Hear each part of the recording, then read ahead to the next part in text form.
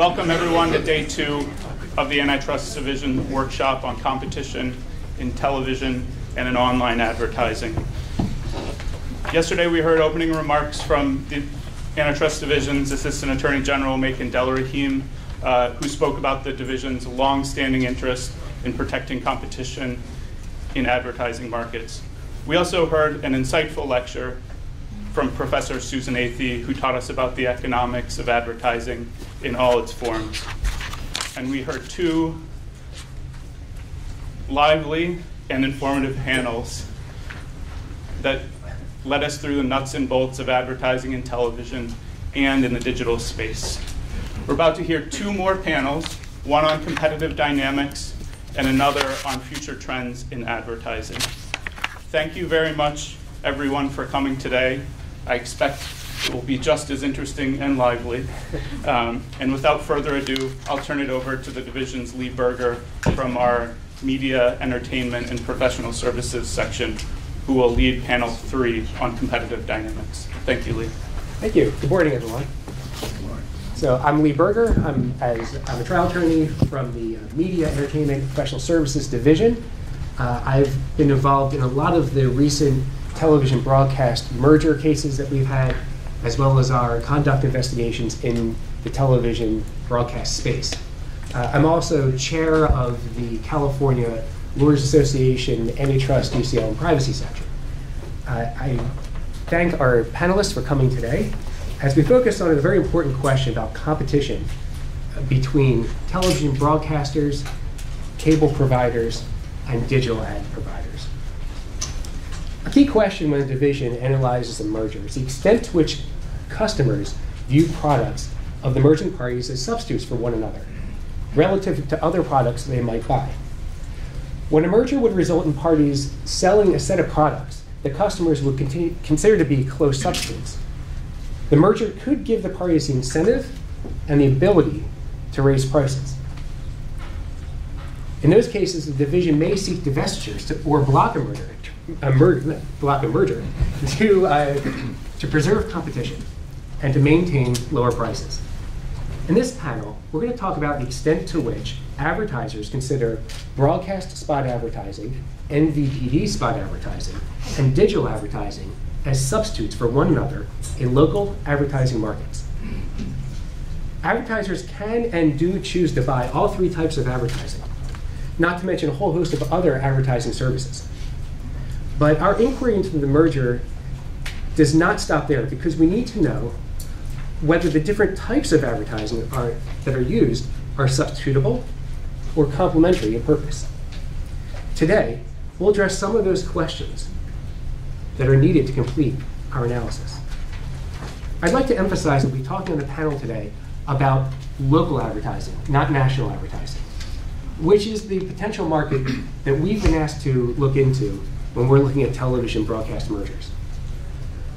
So, for example, when we discuss broadcast spot advertising, we'll be concentrating on spots sold by local stations within a DMA, not national advertising sold by networks, uh, which are broadcast nationwide. So I'd like to start by introducing our panel. Uh, all the way to my left is uh, Dave Lougee. He's the president and CEO of Tegna, the largest independent station group of major network affiliates in the top 25 markets, reaching approximately one third of all television households nationwide. Under Mr. Lougee's leadership, Tegna has been honored in recent years for its commitment to local investigative journalism and content innovation, with many national honors, including numerous Edward R. Murrow, Alfred I. DuPont, and George Foster Peabody Awards. Mr. Lougee is the immediate past joint board chairman of the National Association of Broadcasters. In 2015, he was inducted in the Broadcasters and Cable Hall of Fame, and in 2014, he was awarded the First Amendment Leadership Award by the Radio and Television Digital News Foundation. Uh, next to my left is Rick Kaplan. Rick is General Counsel and Executive Vice President, Legal and Regulatory Affairs of the National Association of Broadcasters. Mr. Kaplan is responsible for directing NAB's advocacy at the Federal Communications uh, Commission and other federal agencies. Before joining NAB, Mr. Kaplan held multiple leadership positions at the FCC, including Chief of the Wireless Telecommunications Bureau, Chief Counsel to Chairman Julius Genachowski, and Chief of Staff and Media Advisor to Commissioner Mignon uh, Clyburn. Mr. Kaplan also played a significant role in the FCC's review of major transactions brought before the agency during Chairman Genachowski's tenure, including Comcast NBCU, AT&T T-Mobile, AT&T Qualcomm, Dish DBSD and TerreStar, and Verizon Wireless Spectrum Co. and Cox. Uh, to my right is uh, Martin Jenckes. Martin serves as President Advertising for Comcast Cable, in this role, he's responsible for Comcast's portfolio of advertising assets. Previously, Mr. Jenckes oversaw Comcast Cable's residential line of businesses, which includes Xfinity Video, Xfinity Internet, Xfinity Home, and Xfinity Voice, including strategy and development. Before joining Comcast, Mr. Jenckes was an entrepreneur involved with a host of digital advertising and media syndication startups, including Grab Networks and Voxant. He also held a variety of leadership roles at AOL Inc., where he launched AOL's free web services, including the free AOL.com portal. Before AOL, Mr. Jenckes worked as a consultant for McKinsey & Company in their media and telecom practice. Mr. Jenckes holds an MBA from the Darden School at University of Virginia and a BA in economics and political science from New York University. And finally, all the way to my right is uh, Ty Ahmad Taylor, He's Vice President of Business Product Marketing at Facebook. Mr. Ahmad Taylor leads Facebook's monetization strategy and global go to market efforts for products that connect people and businesses on the platform. Before Facebook, Mr. Ahmad Taylor served as CEO of THS X Limited, a global media and entertainment company. Mr. Ahmad Taylor brings to Facebook more than 25 years of information design, more than 20 years of consumer facing software and product development leadership, along with interactive television services leadership. He has a diverse portfolio of technology and hardware patents and has held roles at several startups and large media companies, including Viacom, Comcast, the New York Times, and Samsung. We thank our panelists for coming today. so I'm going to start by asking uh, an opening question. Are cable spot advertising and digital advertising good substitutes for the advertising that advertisers buy on broadcast television? In answering this question, I asked each panelist to describe the products that they sell, what advertisers value most about the products that they sell, and what advertisers are hoping to achieve by uh, buying their products, and uh, how the companies help meet those customers' goals. After we hear from each panelist, I'm going to ask the panelists a series of questions, and then we'll have time for the audience to ask their panelists questions as well. So, Ty, would you like to start? Sure. Uh, good morning, and uh, thank you for having me. I'm uh, super excited to be here, and uh, got into town yesterday, and looking forward to being able to take uh, take part in the panel. Uh, we touched a little bit upon my background, and so I think it sort of makes me uniquely situated to speak on the panel. I've been a journalist working at the New York Times, which was a media distribution company. I've also worked at Comcast, uh, which is a global cable operator, MSO, as we know. I've worked at Viacom, which is a broadcaster, Samsung, which is uh, delivering television into uh, entertainment into your home over television sets. And now at Facebook, I'm interested in connecting uh, businesses to the people that matter most to them. Across all of that and all of the work that I've done, one of the things that's really stood out is the, is the notion of uh, getting a return on ad spend. So, uh, as you came here today, whether you drove or, or, caught the metro or caught the bus, you saw billboards, which is one way of uh, marketers reaching you. You also uh, perhaps were listening to the radio, so you had radio ads, and that's another way for them to reach you. You may have been watching the NBA playoffs last night, and there are ads there. That's another way for marketers to reach you. And you may have used one of the products in our portfolio, whether it's Facebook, Instagram, or WhatsApp, and that's another way for marketers to uh, get their reach to you. All of that is really bound up in what we call, and what I think the other panelists might uh, call by a different uh, name, but what we call the attention economy. Uh, and all of us here are part of the attention economy. You can pay attention to your children, you can pay attention to sports, you can pay attention to a newspaper or a magazine that you might read if you still have physical newspapers and magazines that you read. Uh, and all of that is, uh, all of those items are vying for your attention, and marketers and advertisers are also vying for your attention, and they're trying to find the touch points where they can get the greatest return on their spend to capture a portion of your attention. And so we have uh, something internally called the uh, KX funnel, and other marketers may just refer to it as the funnel. But basically, any marketer is trying to grow their business, and they do that by making you aware of the business, then making you consider that particular brand, and then the bottom of the funnel is really is what we call conversion, which is where you actually buy the service or product. And so to give you a practical example, if you're say, for example, the state tourism board for this for the state of South Carolina, and this is hypothetical, I don't know them personally.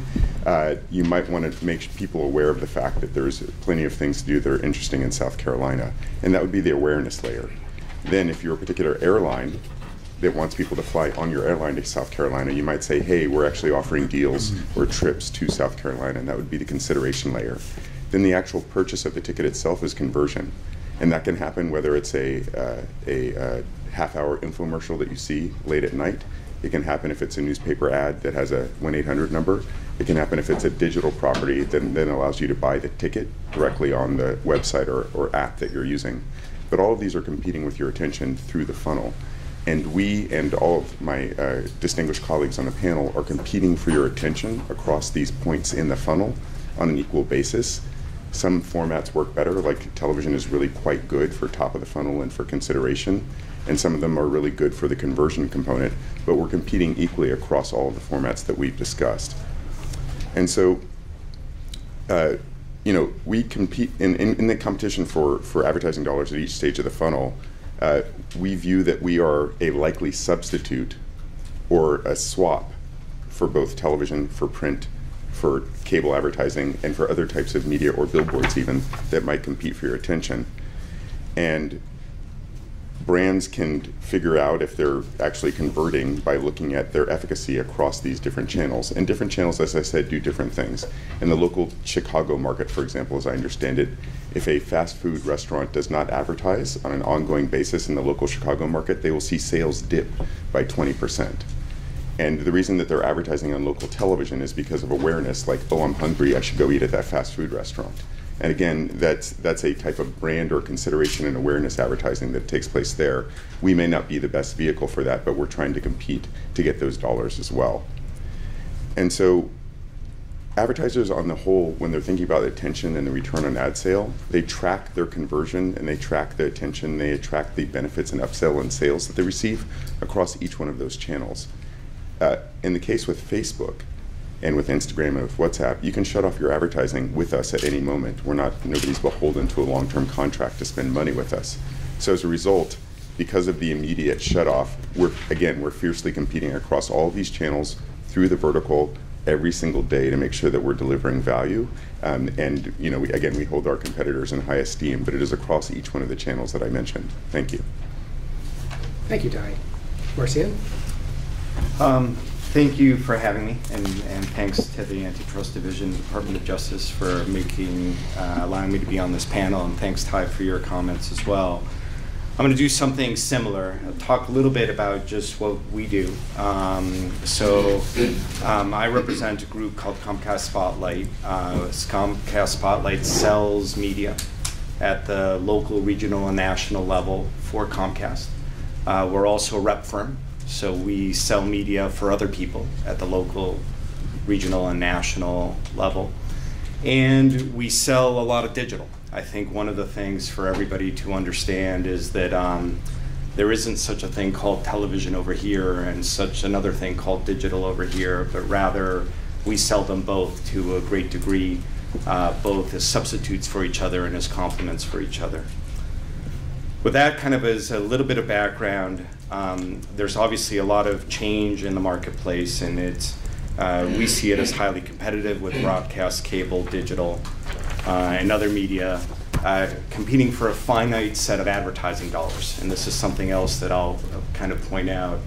Um, total advertising spend in the marketplace uh, has, over the course of the last 50 years, grown at GDP.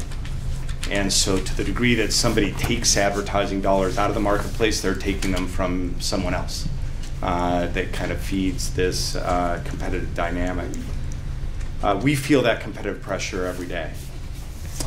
There's three trends I want to hit on that I think will be relevant to the rest of the panel. Uh, the first, and I'm sorry, Lee, I think it's a mistake to view the so-called national advertising as somehow fundamentally different from regional and local advertising. In my view, it's inaccurate in today's marketplace uh, to draw hard and fast lines with these sorts of category definitions. Uh, the situation is much more fluid. Um, on the supply side, from an inventory perspective, it's the same inventory that sometimes we will sell in a national way, sometimes we'll sell it in a regional way, sometimes we'll sell it in a local way. But on the demand side, too, advertisers weigh trade offs um, in deciding which type of advertising they buy. They typically face one particular trade off between effectiveness and cost. Uh, and by effectiveness, I mean how good is a particular media at reaching specifically the homes that you're trying to reach.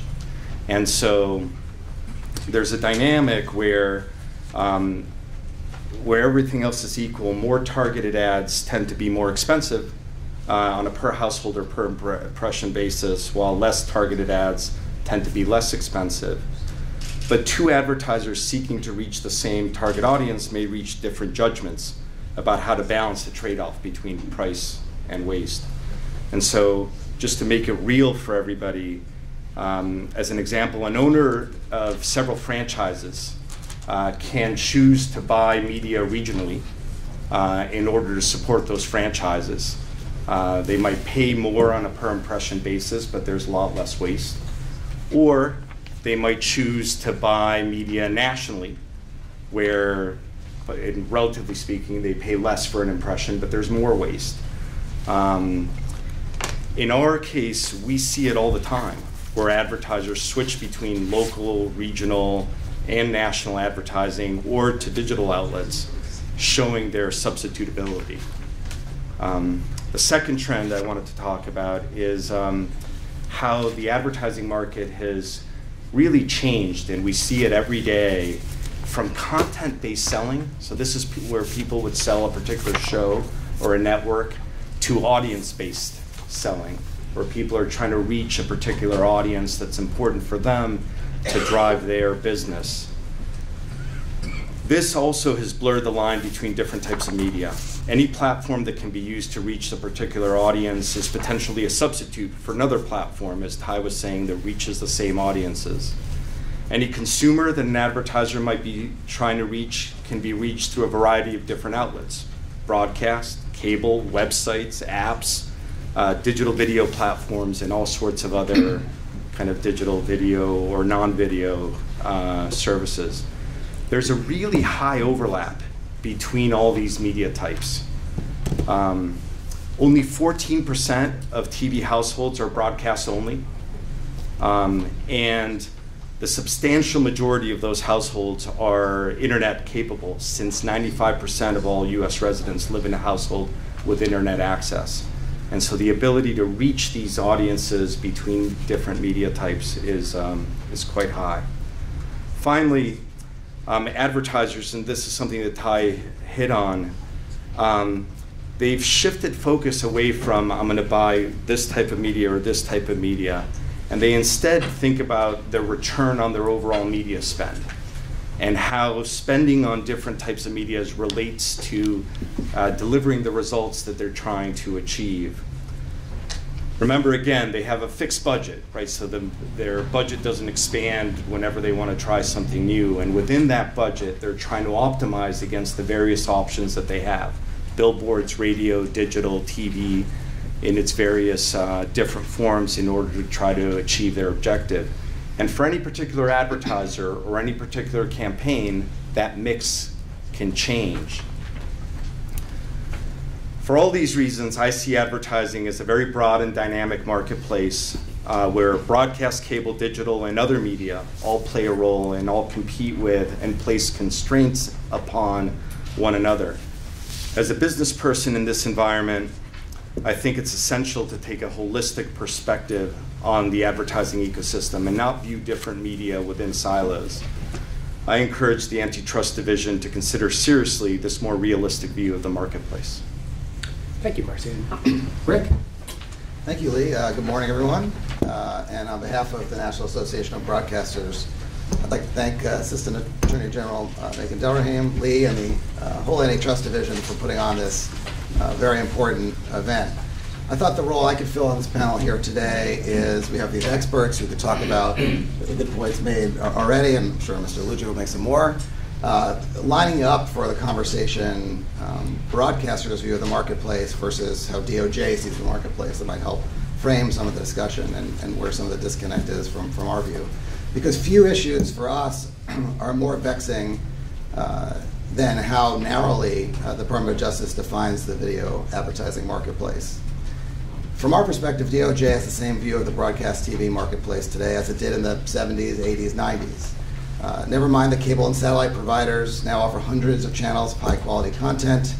And never mind that the internet has thoroughly upended the ways consumers access and engage with video offerings. And finally, never mind that if we polled the first 100 people walking outside this building on the street to, to ask them whether or not they could distinguish between broadcast TV, cable, satellite, OTT video, we'd be lucky to probably find even just one. So where's the disconnect? Um, I thought, you know, today I'll look at a little bit of DOJ's view, how DOJ outlines uh, uh, in its complaints the things uh, when mergers come before it, and compare it to where we are. DOJ typically uh, begins a number of its complaints in this area by noting that broadcast TV is unique because spot advertising combines sight, sound, and motion uh, in a way that makes television advertisements particularly memorable and impactful. of course, this premise, while certainly flattering, um, would be difficult for DOJ to prove in court. But even if it could, one would think that the same rationale would apply more broadly, as we heard earlier, uh, to cable, telco, and DBS advertisements. The DOJ to date has said no. Uh, while those are technically TV, also, those alleged competitors don't count because TV stations have a greater reach than other platforms. But it's a little confusing because the term reach in this context is tricky. Uh, DOJ is not saying that the entire market watches uh, broadcast TV. Rather, rather, reach describes how many people can theoretically watch broadcast TV. And the relevance, therefore, of this metric somewhat escapes me because theoretical viewers don't sell spots or earn ad revenues. I'm sure Joe DeCipio sitting back there would love to do that. Uh, but only actual viewers uh, sell those spots. In fact, MVPDs, like Comcast, also reach nearly 100% of homes in most DMAs using that same definition. You can subscribe anywhere you like, just like you can purchase an antenna in most areas of the country and receive broadcast TV. So reach isn't really the issue. Um, but DOJ uses this notion of purported reach to argue that broadcast TV advertisements more effectively introduce and establish the image of a product. I think that's what Ty was uh, alluding to before. This is DOJ's way of suggesting that broadcast advertisements serve a different function than, say, maybe cable ads. If everyone in a DMA can see an ad, perhaps that's a good way to generate brand awareness. But again, DOJ conflates reach with viewers. DOJ never addresses the fact that only a very small percentage of even those highly watched broadcast TV programs reach viewers in the first instance. And beyond this incongruity, DOJ's view is also noticeably lacking in support. What does it base this uh, social scientific claim? And also, why ignore other forms of advertising? I think Ty mentioned the attention economy. So, wouldn't a guerrilla street marketing campaign do the same? How about a widespread local media buy on Google? Or what about naming rights to a local high school football stadium? Those all build brand awareness. Uh, and DOJ to date has ignored those uh, options that undoubtedly broaden the relevant marketplace. DOJ does get around to talking about actual viewership and claims that broadcast TV has superior ratings points. This statement, however, tells us nothing about who participates in the relevant product market from our standpoint. For advertisers, the bottom line is getting quality impressions at the best price. A highly rated TV program may be more expensive, if you think about the Super Bowl. However, since there's fierce competition in the marketplace, if that program is too expensive, advertisers can, would, and do reach the same number, if not more people, with a plethora of less expensive options. MVPDs and digital advertising alone offer seemingly endless cost effective opportunities for advertisers. Speaking of digital, digital advertising on its own has completely changed the game. I think we've already heard some of the ways that that's happened. Digital takes things to a whole new level. It's ubiquitous, targeted, has very low barriers to entry, and it runs the same advertisements that broadcasters do. Unfortunately, today DOJ has refused to budge even in the face of this digital revolution. Without missing a beat, DOJ has already repeatedly rejected requests to include digital in the broadcast TV marketplace, explaining that online ads can be skipped, minimized, or blocked. But I'm going to let everyone in a little secret. Mr. Lougee may be upset with me about this. But um, with broadcast TV, our version of skipping, minimizing, or blocking is grabbing a snack from the fridge, disappearing to the bathroom during a commercial break, or even just hitting fast forward on your DVR. In fact, in most cases, it's harder to do an end around uh, uh, digital ad because often you can't even get to the highly desired content without first playing one or more advertisements. And so far, DOJ has failed to recognize what droves of advertisers have. Digital advertising can provide quality impressions less expensively because the targeting and tracking capabilities of digital ads make them more cost effective. After all, advertisers have limited and finite budgets, and today can spend them on digital platforms targeting consumers they really want to reach. Hopefully, though, DOJ's decision to hold today's workshop suggests that it's finally poised to evolve from this somewhat antiquated view. We now live in a digital world, and broadcasters are certainly no exception. There is a very high cost to the American public if DOJ fails to update its broadcast TV market analysis, which is why this is so important. We can no longer operate in a bubble. With the dramatic decline of newspapers, broadcasters are one of the primary investors in local communities. Broadcasters take their public interest responsibility seriously, but local stations must compete successfully for ad revenue to meet their obligations and commitments to cities and towns across the nation. Thank you. Thanks, Rick. Dave? Thank you, Lee. I want to thank you and Assistant Attorney General Del Rey uh, for holding this panel on this important topic and inviting me to participate. Um, our company owns or operates 49 broadcast TV stations across the U.S., as well as a number of digital platforms. And as you stated in the intro, I recently served as a joint board chair of the National Association of Broadcasters. I've seen tremendous changes during my 30 plus years in the industry, and I'm pleased to be here to talk about some of them. We are talking about a very important topic and a very important time for the reason that Rick just mentioned in his conclusion. As the broadcast and other communication industries experience unprecedented, rapid change, a proper understanding of the market dynamics in spot advertising is essential. An overly restrictive antitrust view continues to impede broadcast transactions, even as broadcasters' competitors for viewers and advertisers are rapidly increasing their already massive scale unimpeded by regulation. This administration has taken aim at overregulation. In the antitrust context, the Assistant Attorney General has explained that the division under his leadership will avoid substituting central decision making for the preferred free market while ensuring that transactions don't harm competition. A critical tool for doing so is accurate, updated, and forward looking understanding of the actual marketplace. In this case, the marketplace for local video advertising, as Lee wants to define it. We are not here, and I, at least I'm not here, to relitigate the past. As you know, many of my colleagues and I in the industry have believed for some time, and for the reasons that Marcien just went through in detail, that a mar- modern market definition of spot advertising is broader than just over the air stations, and for a long time should have included large and sophisticated cable interconnects that provide local advertisers broad reach and inventory on nearly 100 channels in a local market. But with the explosive growth of digital media, the local video advertising has, landscape has changed so fundamentally that those old debates are now largely beside the point. Simply put, high speed broadband to the home and high speed broadband to the phone has changed everything in the video marketplace. With the rise of 4G and unlimited data plans, every screen is a TV. To my 19 year old son, a mobile phone like this is his TV. His viewing of over the air television stations in the past year can be counted in minutes, not hours. But like much of his generation, his viewing of long and short form video programming on his mobile device can be counted in weeks. True? And for some time now, those video consumption patterns no longer are restricted to younger consumers. Today, mobile broadband covers 99% of the US, and approximately 87% of Americans own devices that can access mobile broadband. And of course, that number is growing by the day. And fixed, wired broadband to the home is now estimated at 82% and also growing. So think about it. You have a household with four people in the household. There's a broadband pipe that's wired, and there's four more broadband pipes with each of their mobile devices. With the onset of ubiquitous high speed internet service, there's been an explosion of platforms and applications with video advertising capabilities that consumers and advertisers have flocked to.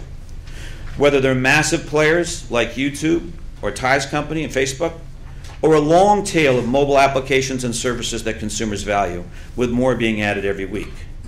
To the point of this hearing, I recognize none of that would matter to the, the guardrails of this hearing if all this valuable video content was not available to the local advertiser to reach their target customers with the same exact ads.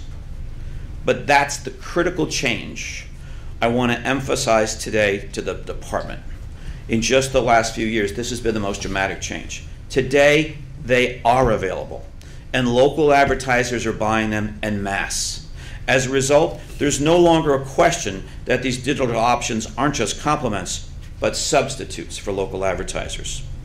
Let's look at it through the lens of a local advertiser and how he or she views their advertising options. As Marcien said, they have a fixed advertising budget. Their goal of that budget is to maximize the return on their advertising investment.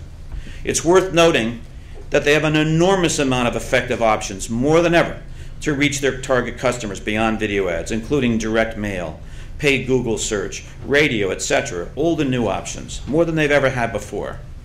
But with respect to their video advertising, they are targeting customers and audiences, as Marcien said, not programs. They're after, they're after their target customers and their audiences. They can buy from a local broadcast, they can buy from the cable connect, interconnect, and now a plethora of targeted digital options. For instance, they can go on to Facebook and, and company and through self-service place that same video ad against the very broad menu of targeted audiences of every generation and geography and things that and, and, uh, and factors that they want to meet. The same identical dynamic holds true with YouTube.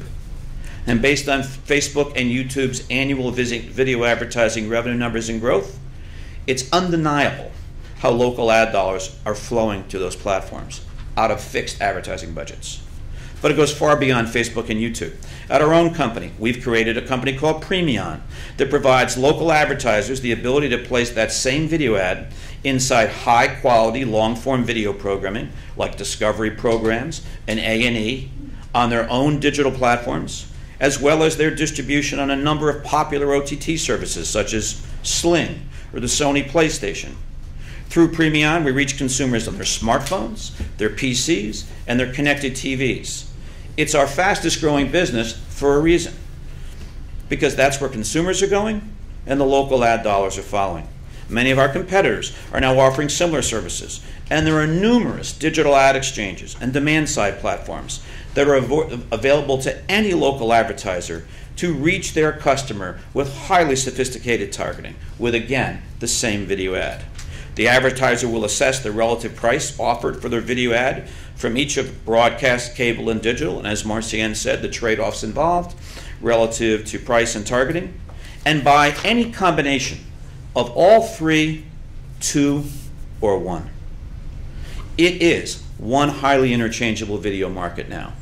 So, in other words, if broadcasters raise their prices, advertisers can, will, and do take their dollars elsewhere.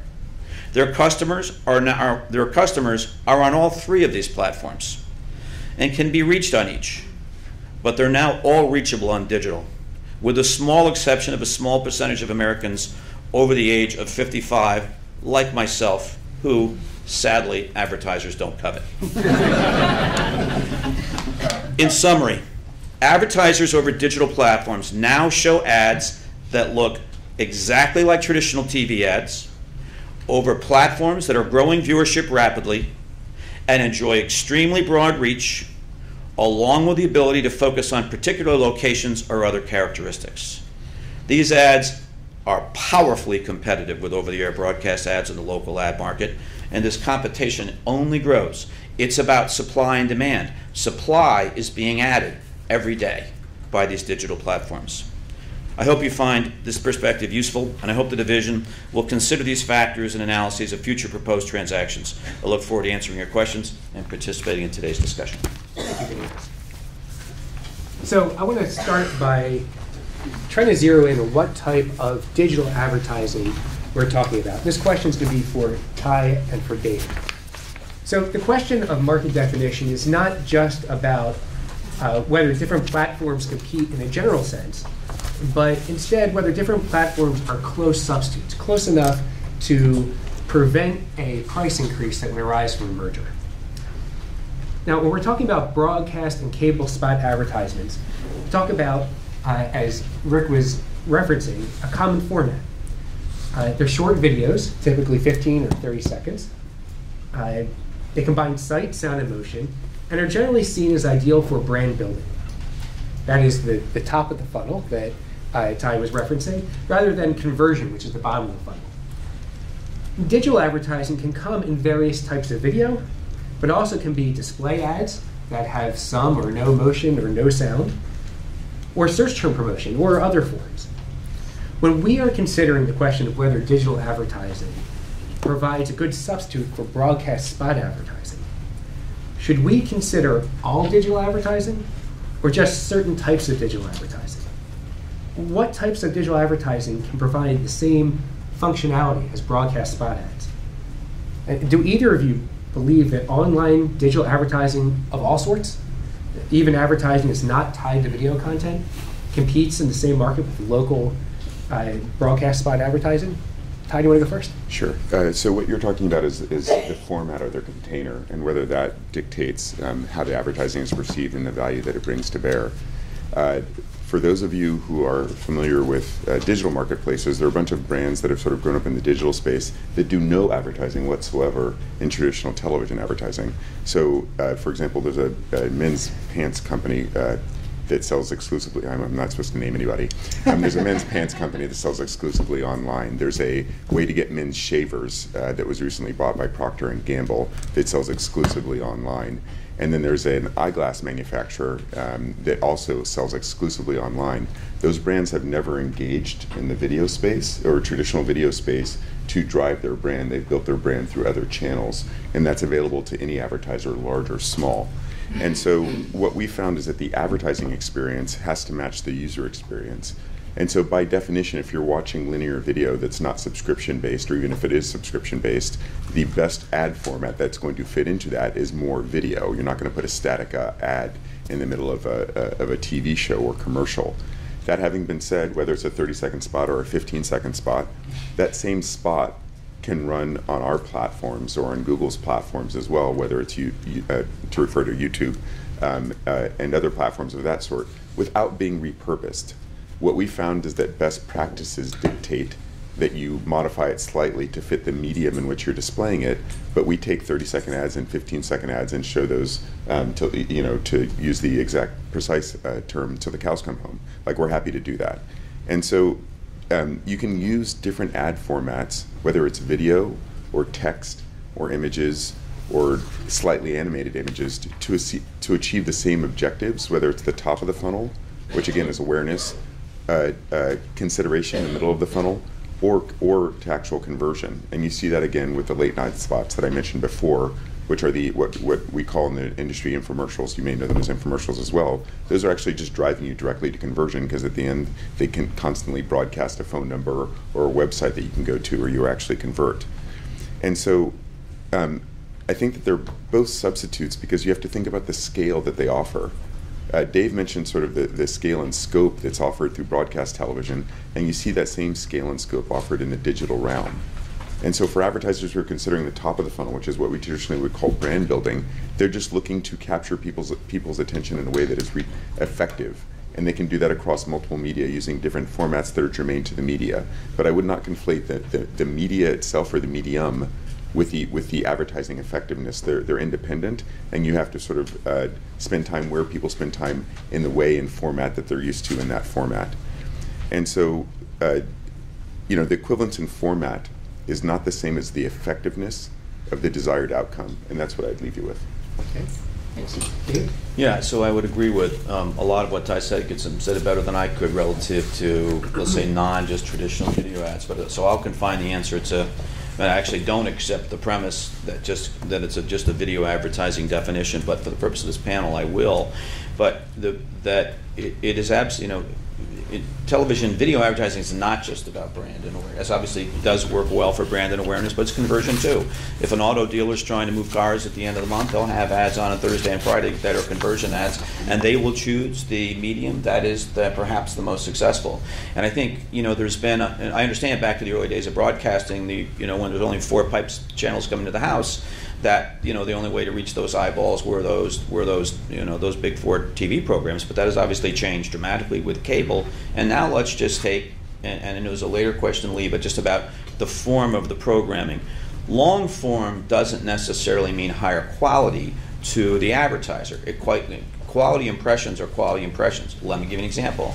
Last week, if you're, a, if you're a basketball fan in Portland, Oregon, you know their star guard did a 37 foot shot to win the seventh game of their of their you know seven game finals. That was the you know the 30 second highlight on the ESPN app that night might have been the most invaluable engagement impressions available to an advertiser. So having a local pre-roll on that ad, which local advertisers can on the ESPN app, is incredibly valuable content and impressions. So um, it just speaks to why the video ad place is becoming entirely a substitute now. Great, Thanks, Steve. So, next question uh, from and Rick. Um, when thinking about cable spot advertising, uh, we generally think about it in two flavors. We think about DMA wide spots, and we think about uh, local zone spots. DMA wide spots reaching every cable customer or uh, MVPD customer in uh, in the DMA, and a local zone uh, being more geographically targeted. If an advertiser seeks to reach the entire DMA, can a local zone cable spot be a good substitute for DMA wide advertising? Are there digital products that can be targeted individually to a DMA? And if so, can those products be used to reach all households in the DMA, like a broadcast television spot, or to target subsets of the DMA, similar to a cable local zone ad? Marcien, do you want to start? Sure. Um, of course, they're substitutes for each other. So, uh, you know, I covered this earlier. Uh, from our perspective, it's the same inventory that we sell at the DMA level or at the local level. So that, I think, by definition, makes it a substitute. But then there's also the example I gave earlier about the trade-off between cost and efficiency, right? So if you are a local advertiser in a particular DMA, you can target ads closer to where your stores are and pay more for those ads and get a little bit less waste, or you can target across an entire DMA and take the other side of that trade off. And this happens literally every day. I'm going to give you kind of a, a very real example. So we work with a, um, an auto advertiser uh, who had a single location in a DMA and did a lot of zone advertising around that location. They then added a second location, different part of the city, and so their natural initial uh, reaction was let me go and advertise at the DMA level. But what they realized is that most of their um, customers were coming from particular zip codes within that DMA, and so then they made the trade off to go back to a multiple zone advertising in order to attract in the most efficient way for them the audience that they were trying to reach. It's literally the same thing, just configured in slightly different ways and making different trade offs, all trying to optimize against ROI. And the two are very much interchangeable in the advertiser's eyes, and that we see that every day. So then let me hit on the second thing, which is the digital. Can you target a, digital ad at the DMA or sub DMA level? And the answer is, of course you can, which is again why that is a total substitute to uh, the same products that we have in the marketplace today. And we uh, use do that ourselves. Similar to Tegna, we have products in the marketplace that are entirely digital which sometimes our customers will buy as a substitute to traditional television, and sometimes it's bought as a complement to get incremental reach on, on uh, a particular or other buy that they've done. The ability to reach these audiences across all of these different kind of cuts of the media um, is very fungible. Um, and we see them travel back and forth between them all the time. Well, I, I mean, I agree completely. I mean, that's, that's how advertising works, and I think this gets back to my opening statement, which is this um, illusory concept of reach. It doesn't matter who, if that broadcaster, broadcasters have a big stick in a market, and they send the signal out. But what Marcien's talking about is folks are looking for, and advertisers are looking for, who are they actually going to reach? Who's watching? Where are they watching? What are they interested in? So the notion that you could blast out a signal far and wide doesn't actually do anything on its own. Uh, and this is why they're substitutes. So, as Marcien said, uh, cable is, is, is ahead of broadcast in that it's able to kind of switch between these two. Broadcast is actually working to catch up, if anything. So, in fact, not the market leader here, in fact, looking to try and duplicate that because they're able to, cable in this case, is able to target or do DMA wide if, if they want. So, if they want this broad reach to try and throw it out there, see who gets it, that's one thing. But that's not really where advertisers are going. We've heard that, I think, from each panelist to this point. They're looking for more data. What can we learn? And that's actually where the digital question, Lee, that you asked come, comes in. And that's where, you know, Ty's company, they're able to learn a lot more, a lot more quickly about uh, the folks that advertisers are trying to reach, their future customers, and put those ads, those video ads that Dave talked about, right next to um, the thing that you happen to be looking at that day that might be relevant to you, and the ad can be targeted to that. So that's what people are looking at, not this generalized notion of reach that you can theoretically get to a number of people, but they're looking at what they demand of Dave's company and all my member companies is what are you delivering? What's the return on investment that Marcien mentioned? And and they are that's why they, they're going to look for if, if you can't deliver it at the end of the day, if, if the if the TV uh, spot can't, then they're going to go over to the cable interconnect or they're going to go over to Facebook. And Rick, just to follow up on that. So when the salespeople uh, at the companies are selling, at, at the broadcaster companies are selling their product, uh, they're telling the uh, advertisers that uh, I have a rating which is based on the reach of my product and the amount of, the number of people that are calculated to have seen it based on the reach of the station. Uh, so isn't that the product that's being sold by the broadcasters? Or Dave, you want to? Why don't I take one? Uh, Every, uh, every platform is going to try to sell the merits of its platform. I'm sure Marcien salespeople are saying every day about how much more targeting they have and frankly how much more reach they have. So what your records may show about what salespeople are trying to sell about their uh, particular enterprise, they're salespeople. Okay, but I know your next your next question is on reach, which back to Rick's point of is it's a very different story. Yes, uh, so, and, and, yeah, and I agree with Dave that, that um, yes, you just described what a salesperson tries to do to make the best case for what they're trying to sell.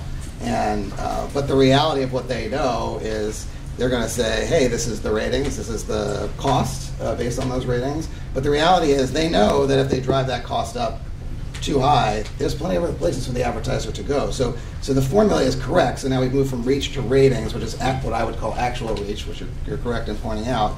But, but that's, again, that doesn't speak to whether it's a substitute or not, because at the end of the day, if that, if, if, um, if that's not appropriately uh, priced and it's too expensive, then they're just going to go down the street to the competitors. All of these involve trade-offs, as we talked about before, between the value that you deliver and the cost around it, and they are all substitutes for each other. Well, so let's let, let's talk about the question of reach within a uh, within a market, and this is a question for to start for Dave and Marcien. So, uh, if an advertiser wants to reach an entire DMA, the broadcaster spot can generally reach all households in a, an entire DMA, but an MVPD's reach within a DMA varies. Uh, in virtually all cases, having fewer households that uh, the MVPD touches than the broadcaster.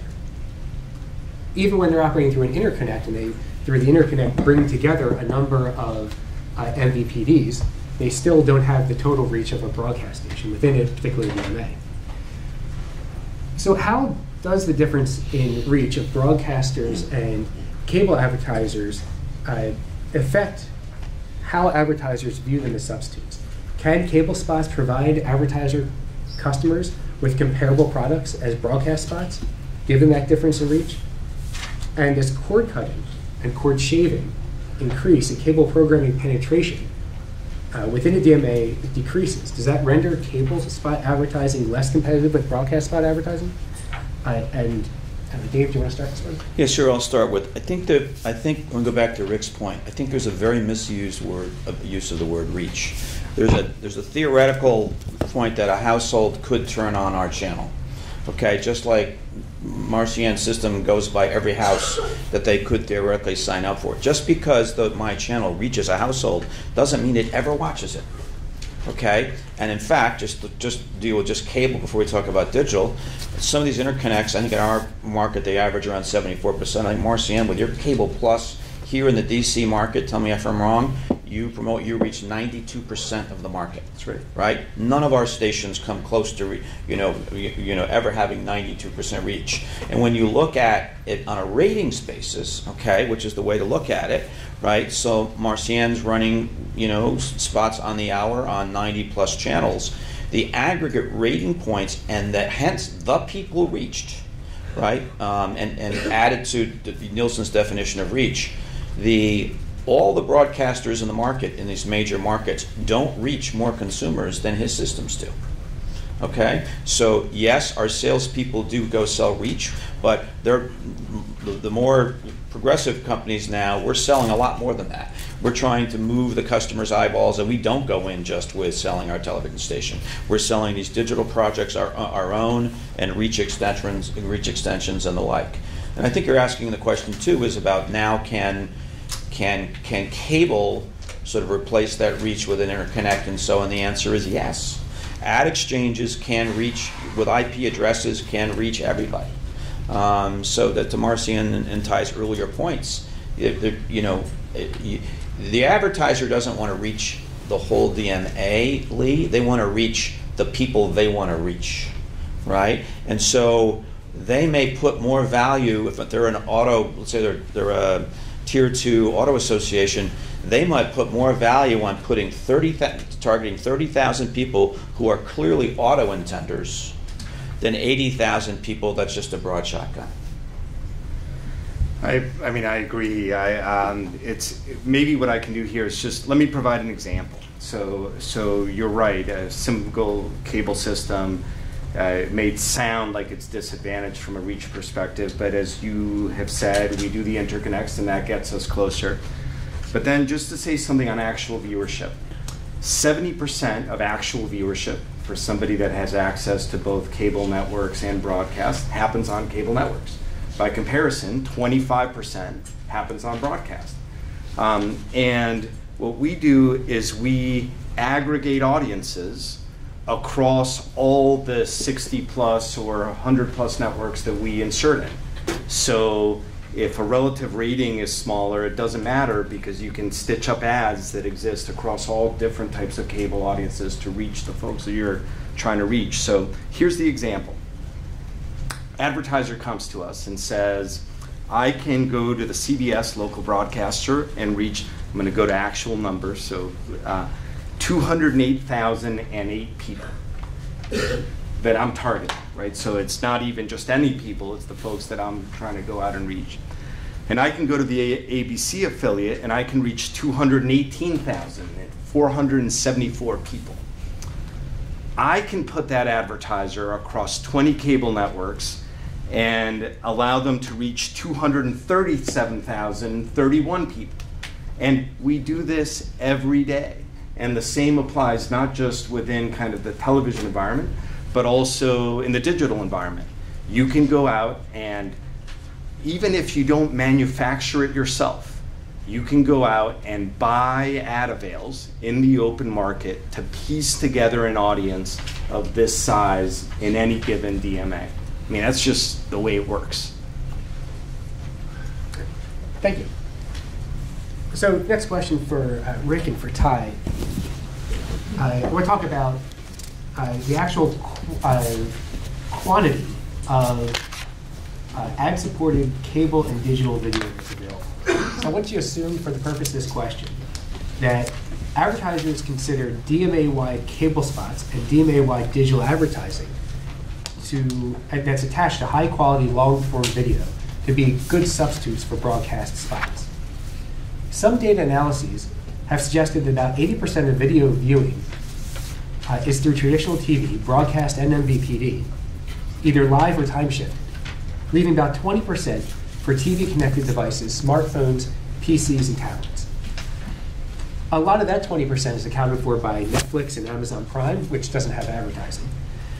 Much of what's left is consisted of short form YouTube videos, which does not have the same appeal for advertisers as long form products on television. How much high quality digital advertising inventory is actually available as compared to broadcast and cable advertising? And is most of that inventory fragmented across sellers, making it hard to execute a buy with broad reach in a particular DMA? Is there sufficient inventory of additional DMA-wide cable spot advertising or DMA-wide high-quality long-form digital advertising to provide a realistic alternative to the needs of more than a small number of advertisers who are currently purchasing broadcast spots? And then also for Ty, Facebook has recently introduced Showcase, its new premium video ad program. How will products like Showcase affect the current lack of digital advertising inventory attached to high-quality long-form video? Ty, do you want to start? Sure. Um, I unfortunately have to go back and reinvoke the notion of an attention economy, which is essentially that uh, the choices that advertisers make are not binary with regards to whether am I going to do digital video or am I going to would I do broadcast video or, or, or cable video. They're more influenced by their ability to achieve their objectives across the funnel, whether it's awareness, consideration, or conversion, and that's irrespective of the format that delivers those results. And what we found, and I'm sure Marcien would say the same, is that the most sophisticated advertisers are moving to actually measuring outcomes. Did the person buy my product or service? And that's a trend that we're going to see accelerate over time. And that's on the advertising side of the industry. On the media side of the industry, none of these things are binary. While some things may not be perfect substitutes, what you find is that people never flock individually to a single art form. So historically, when radio existed and TV was coming on the scene, people were like, "Oh, that's going to destroy radio," and I think that we all still listen to a lot of radio. And then when uh, uh, satellite radio came about, you know, that was also a threat to terrestrial radio, and it turns out that both are still flourishing. And with radio and with television and with billboards and with the digital advertising market, all of these media exist overall. And I now have the great opportunity to invoke Maslow's hierarchy of needs. But from a consumer perspective, what they're really interested in is can I be entertained? And so entertainment can come across multiple forms and multiple touch points. Marketers are leveraging the consumer desire to be entertained to get their marketing message across. And that's, again, irrespective of medium and more closely tied to the objective that takes place. And so, one of the things that uh, uh, advertisers are looking for is they look at understanding the reach that they have across formats is a product that Nielsen has, which is total audience rating points, which includes not just broadcast, not just cable, but also the digital marketplace, as a single rating system to understand things that occur on our platforms, on Google's platforms, digital ad services, on broadcast platforms, and on cable platforms, so they understand the efficacy of their total spend. And that number is a super important number because it does show you the total reach and how you're reaching folks. folks. But more importantly, it suggests that people are being entertained across all of them because there's an equivalent number that we can use to assess, to assess all of those platforms through a single lens. I think that's valuable to know and to understand. With regards to Showcase, uh, for companies that are growing in their sophistication with regards to their ad techniques, they still need an on ramp, if you will, or, or a gateway product to fully be fully immersed in, in digital ad buying techniques. So Showcase mimics the buying uh, process that many advertisers and marketers use with traditional cable and broadcast television, and then drops it into a digital realm using some of our long form video so that they buy it in the same way that they would buy traditional television uh, or, or cable uh, cable television, and so it's just making uh, it's creating a more facile interface for traditional marketers to be able to buy our products, and we do that as a gateway product to getting them to more fully consider outcomes, which is what the entire industry is trying to do. Yeah, and just picking up on that last point, uh, question about the, uh, the fragmented nature uh, potentially of, of, the digital realm, and I think Marcien talked about this. Um, people figure it out. So Facebook is saying it's in their interest, right, to, to make it as easy as possible. So yes, if I tried to figure out on my own, but that's not the way it works, right? So you, if you go to the cable interconnect, they'll piece together what you're looking for for you to have that reach. Same thing with Facebook. They're developing products too. You go as you want to advertise. Okay, this is how you reach these people. These are the outcomes you're looking for, and we'll find that. So the, the fragmentation does not uh, impact the advertiser. It's just a problem to solve for, in this case, Facebook or for the cable interconnect. And they do it because it's in their interest, and that's why you can go and figure out. And, and frankly, it, it's, it's, it's um, really telling uh, a lot of this conversation, especially when we talk about the digital side, but even the very mature industry of the cable side, of the amount of targeting that goes on. And so, in fact, it's kind of flips the DMA reach uh, concept on its head because where the ball is moving and where the dollars are moving is all to how much you can target, where you can go. And those are things, again, if you look at the actions of broadcasters, we're trying to catch up there. That, that's, that's where we're trying to go because that's where, um, that's where these folks are able to deliver this value. And the fragmented nature is not, is not uh, a, a limiting factor on them. Thanks, Rick. All right, next question is for uh, Dave and Marcien. A key factor that advertisers uh, think about when choosing platforms on which to advertise is the number of viewers of the programs to which the advertising is attached. In television, this is often measured by ratings. Broadcast television typically has most of the highest rated programming shown on television, major sporting events, local news, and primetime television. These higher ratings are so substantial that in the evaluation of station combinations, the FCC differentiates between top four stations and uh, lesser stations, uh, having a top four rule, which usually applies to uh, affiliates of big four networks ABC, CBS, NBC, and Fox. On the other hand, some cable networks occasionally show highly rated shows, Walking Dead on AMC, certain sporting events on ESPN or regional sports networks, uh, and other examples. These highly rated shows often make up a small percentage of the overall programming on those cable networks, and usually are only included in one or two of the top 100 uh, programs shown on television. Looking at the ratings broken down by demographics, broadcast television tends to have more highly rated programs across a broad demographic reach, while cable programs and digital content tend to have smaller audiences and appeal to narrower demographics. How do the ratings of broadcast television and cable television programs affect advertisers' willingness to substitute a cable spot for a broadcast spot? For example, in is a broadcast spot with a 5 rating better than 25 cable spots with a 0.2 rating because of duplication and excess frequency? Is there any internet program that features digital ads that obtain audiences that are comparable in reach to broadcast programming? And how, do, how does audience size of digital ads affect advertisers' willingness to substitute digital ads for broadcast spots? Dave, you want to start? Yeah, Lee, I really appreciate the question because I actually think the premise of the question is the falsehood under which the current um, regime, uh, uh, in which the current DOJ rules are being based. As I said earlier, and said, advertisers are buying audiences, and it's true on a national level. That, in fact, the, the TV industry, the broadcast industry puts it out. Talk about the highest rated programs. That's not actually always true on the local level. Right? I can guarantee you last week that, that our ill-fated gave seven of the caps was one of the highest rated programs in the marketplace, right? And it's, and in fact, other than the NFL, almost all highly rated local sports is only available on cable. So there's just that premise also doesn't hold true. But more importantly, to the point, it's no longer about buying programs. It's about aggregating audiences in environments and impressions. So, so when you talk my my highly rated my highest registration station, I won't name the market can walk will walk into an advertiser and talk and, and, and have that conversation around reach.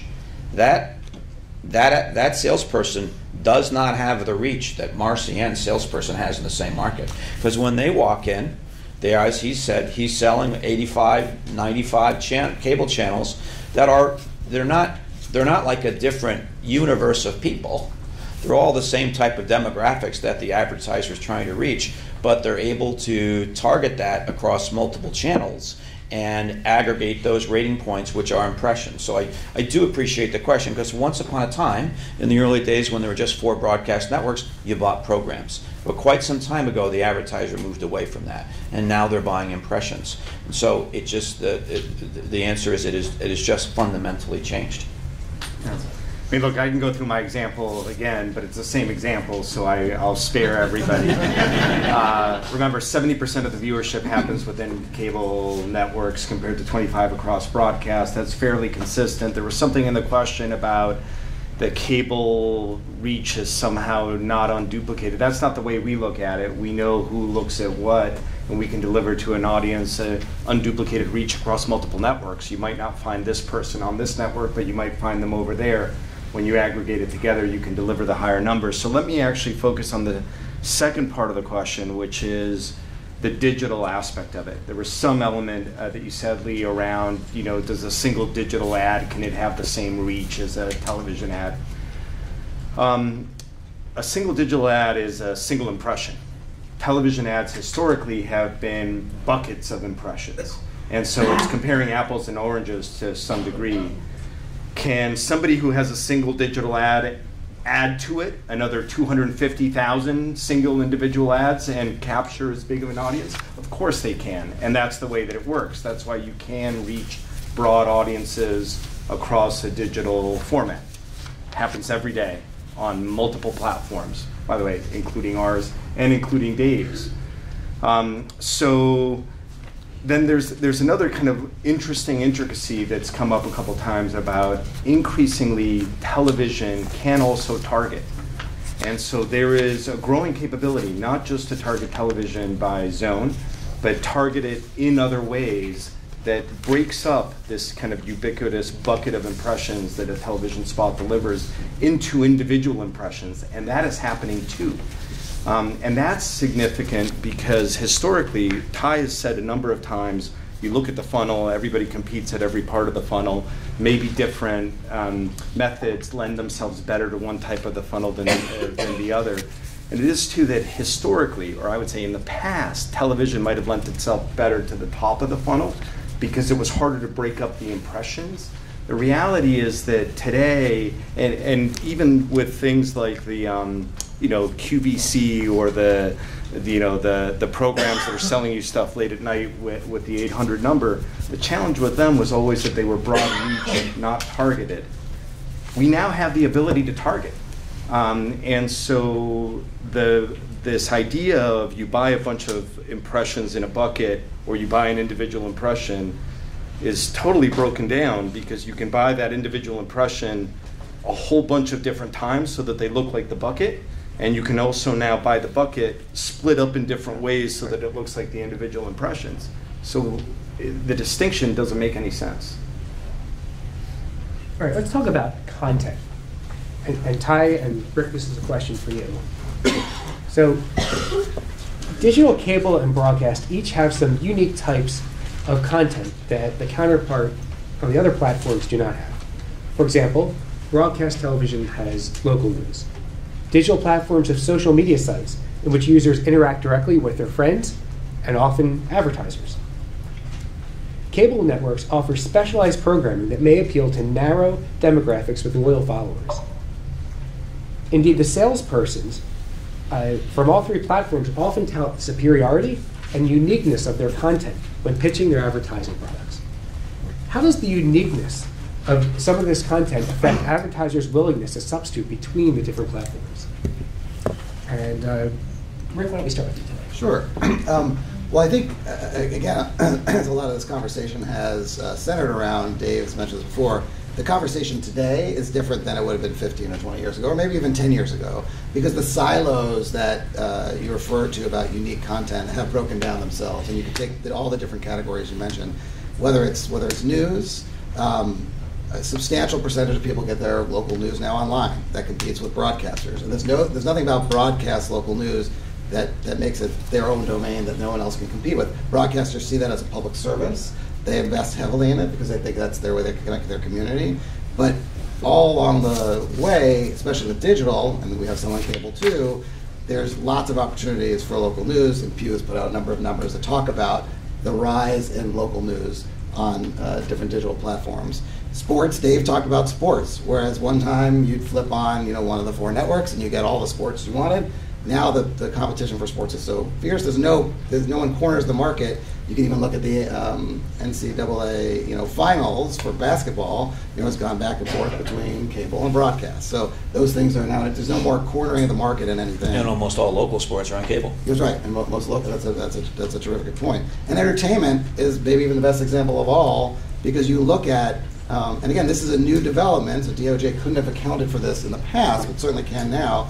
Netflix and Amazon producing their own content that's highly valuable and highly watched that competes directly. And in fact, for broadcasters, one of the challenges we have is um, for our FCC friends in the room, we have rules that, that don't allow us to show most of the shows that win all the awards when you go to the Emmys uh, because of the you know decency obligations we have. Um, the Marcien's, uh, Marcien's very indecent. Um, so- Wait a second. I'm not going to talk about this. yeah. Um, so, so, it's, so these things are, are, again, these are older notions that, that perhaps made sense in the past, but there's no way when you look at the jumble and the way these things are interchangeable, and, and it makes sense because these platforms, so Marcien's, Ty's, are, are trying to compete in these areas and, and, and have done really well at producing the things that maybe at one time broadcasters had an advantage of, but certainly today, uh, and that's why my first example, if we went outside and asked people, is this a broadcast station or not, what are you watching it on, they'll have no idea because those barriers have all been broken down. Ty. I'd say the same thing, that the, the, the format doesn't dictate the objective, and the two are, are highly separated. And so, um, if a company believes that it does better by advertising on rom-coms, there's, like, I, I- I don't think that any company thinks that way. I think the inverse is true, which is that there's no company that doesn't advertise broadly across all of the channels and silos that we're talking about to reach customers in different ways to achieve different objectives. But there's no, um, I don't think there's a predisposition because of the type of interactions that occur outside of advertising to view or to favor one or the other. It's really what is the objective and how effective is my turn on ad spend is the, is the primary lens. Uh, Just interject for a second, I know yesterday part of the conversation was around quality, and does quality make a difference? That's kind of disqualifying or another. My perspective, even on quality, is that it's part of this cost effectiveness trade off. If you can do something where you're maybe taking more brand risk, but it costs you half as much, maybe you're willing to do that, or some advertiser is and another one isn't. These things are all very interrelated. So I want to ask a question to Dave and to Rick about Miller Kaplan. So broadcast stations regularly take part in a data survey from Miller Kaplan, in which Miller Kaplan gathers each station's spot advertising sales revenue in a DMA for the past quarter, and then aggregates the data and uh, reports on the state of the market to the broadcasters. Uh, Miller Kaplan's reports even show that the total spot advertising revenue for the broadcast station makes up 100% of the market. Cable spot advertising revenue and digital re- advertising revenue is not collected or reported in those reports. The broadcast stations rely on Miller Kaplan reports uh, in budgeting, in price setting, evaluating performance, among other things. What kinds of quarterly data do your companies collect about the advertising sales from the other two platforms? And how do you use it? If broadcast spot advertising, cable spot advertising, and digital advertising are all in the same market, why don't all three platforms participate in the same kind of data gathering and aggregation analysis that Kip, uh, Miller Kaplan offers? If cable spot advertising and digital spot advertising are in the same market as broadcast advertising, how is the Miller Kaplan analysis, which presents only a part of the competitive landscape, useful to broadcast stations, and why do they rely on it? The answer is it's not very useful. It's a legacy habit of the past um, that broadcasters always and, pull that data together. And for all the reasons we talk about today, it's pretty much not that meaningful, and it's not useful at all for pricing. For reasons I can go into if you would like. Um, but you're right. We would love to have Marcien's data, but typically the interconnects have not wanted to participate. And God knows, I don't know how, for the reasons we talked about today, we would ever anybody would ever get a hold of the digital data right now. But we we would love to have that information. Um, but you're absolutely right because we're going after a far much larger addressable market. But it's the only still legacy audit that's in place, and it does have the wrong unintended consequences because it can have, you know, broadcast salespeople and general managers sort of focused on the wrong things. But it's still used as a guide. Okay, here's what the broadcast market's doing, trying to budget for the station going forward. But it absolutely would be far better for us to have all the data from the other platforms. It's just not available.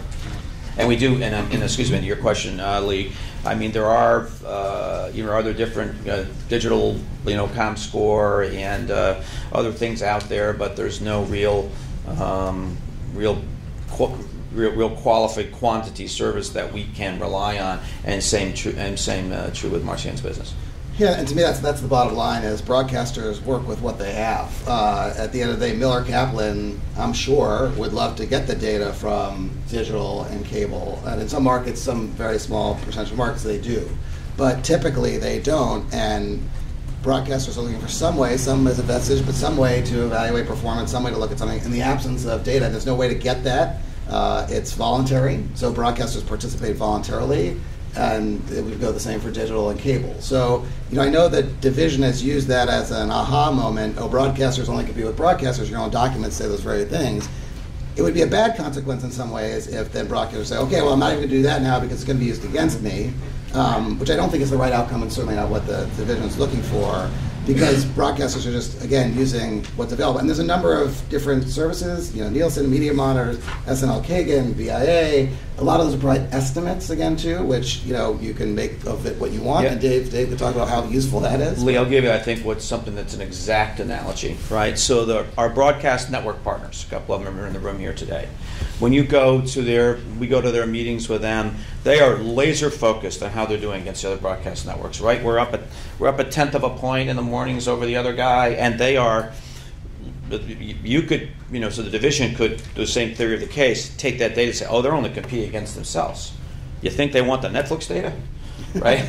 the point, the, I mean, the point, I mean, facetiously, the point is Netflix is that now they're a massive competitor and they would certainly want that data, but all they have, since all they have is what the other broadcast guys are doing, then they end up focusing on what they know. If this is helpful, just to illustrate, we look at our Kaplan data because we compete with you, and it's useful for us to see it. And I'd love to see Grant's data too, if only he would make it available to me too. Well, so Marcien, if, if that data uh, would be useful to an interconnect in the same way that broadcasters see it as useful, why doesn't the, why don't Well, don't, don't get me wrong. I don't like sharing my data with other people. I like seeing other people's data, which helps me compete better against He's trying to bring us together. just just to be just to be super clear about it, it's not totally clear to me why the broadcasters all pile their data into a pile that we can all look at it. I'm glad that they do, um, and I wish other people did too. Um, but you know, I, I I see no reason to disclose any more than I do. Actually, today. that habit may, that habit may be dying a death today. All right, I, so one more question before we get to the uh, audience questions here. Uh, And Dave, this is for you. Uh, You know, we often look at what's known as the hypothetical monopolist test. So the question essentially for the hypothetical monopolist test goes this. If in a particular DMA, there were a single seller of all broadcast television spot ads, would that seller be able to profitably increase price for some of its spots by 5% beyond where uh, the prices are today? Similarly, if there were a single seller of all digital ads that could sell, could that seller increase price by 5% beyond what prices are today? And in each case, what would prevent a single seller from raising those prices by 5%? Where would the advertiser substitute to to avoid that unprofitable increase in price? Well, I don't like hypotheticals, Lee, and I'm not going to speak to a hypothetical for the digital side of the business, but just simply put, you know, I'm confident for the reasons we've discussed today that broadcast stations would not have the power to raise prices on spots, even under that hypothetical, because of all of the fierce competition from digital advertising we discussed today. So the simple answer is no. Okay. uh, I didn't take too much time. There's not- Anyone else want to comment on that? Just very briefly, uh, Sure. most digital ad, au- ad auctions are based upon an, uh, are based upon the, the perception or the, the actual auction mechanics that you pay one penny more than your next closest competitor who's bidding. So we don't have actually the opportunity to, to raise rates by five percent unilaterally. It's not a it's a there's a it's an auction dynamic that's determined by the efficiencies of the market. And so our goal is basically is, is re, uh, efficiency on the return on ad spend and making sure that we're a viable platform. And I think ultimately all of the platforms that are here are looking to do the same thing. Yeah, The thing our advertisers, just to go back to real life examples, ask us for the most is data so that they can calculate the return on their media spent. Yeah. If anybody in the, that we've talked about significantly raises their cost of their media, the return by definition goes down, and that's going to make them less competitive relative to their other choices. Literally, that's the biggest focus that any advertiser will tell you in the marketplace right now. They're, they're trying to achieve, get an ROI on their media spend. Great, thank you. Okay, so uh, if you have a question you'd like to ask our panelists, uh, just please raise your hand and we can uh, take questions. Should they go to a mic or should I just say? Uh, Yeah, stand up. uh, uh, I'm- I will repeat the question so that folks who are listening uh, in the overflow room can hear it. Uh, yeah, Monty Tayloe, Com Daily. Uh, Mr. Berger, I was wondering, did you know going in that everyone on this panel would agree with each other the entire time? did, you, did you pick this panel, or who did pick this panel? Uh, So the question was, uh, who picked the panel and uh, did we know that uh, people would be coming from similar perspectives? Uh, I picked the panel. Uh, The, uh, did did we, I have an inkling that people will be coming from the sa- same perspective? Yes. Uh, I- We have dealt with all, all of these industries for a while and uh, so we had an inkling that would happen. Thank you. Uh, Any other questions? Okay, I, I will, since we have just a few minutes left, I'm going to ask Ty uh, one question. Uh, so, through Marcien's business, the uh, cable companies expand their reach within a DMA by uh, working together through an interconnect. Uh, is there any similar phenomenon, like an interconnect, in the uh, online advertising space, or do you see one emerging? If not, Uh, we have a product called Audience Network where we provide the opportunity to, through our ads interface, to buy uh, impressions, reach, and conversion opportunities through third-party publishers who choose us as an advertising supply provider because we're giving them a higher rates than what they're able to achieve on their own network. And so we, there, we have a distributed network that operates in, in, in a, I wouldn't say exactly the same as an interconnect, but has uh, much of the same benefits for both marketers and for advertisers. I'm sorry, marketers and distributors, excuse me. By the way, we do that too. We sell digital advertising. We aggregate uh, digital advertising from lots of sources, not just ourselves, to create a broader reach uh, for our customers. So that same mechanism of trying to achieve the same value proposition in the market certainly exists because we do it every day. All right. Uh, hearing no other questions, last chance. All right. Uh, thank you to our panelists today. We really appreciate it. And uh, thank you.